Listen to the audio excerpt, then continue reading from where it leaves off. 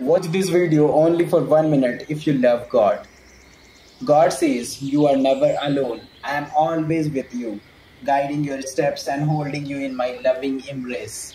God's message for you today is to trust in me, for I know the plans I have for you plans to prosper you and not to harm you. God says, Fear not, I am your strength and shield.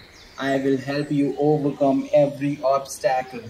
God's message for you today is to have faith, even in the midst of uncertainty, for I am the steady anchor in the storms of life.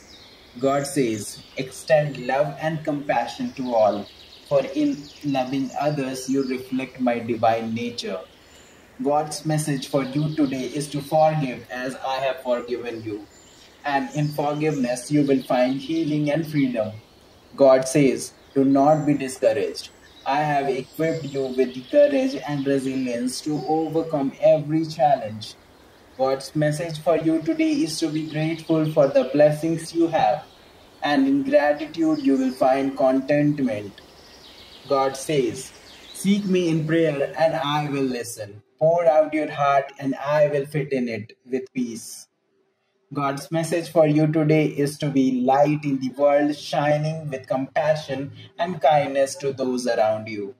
That's it for today. Type your prayers in the comments and get blessed today and spread the message of peace to the world.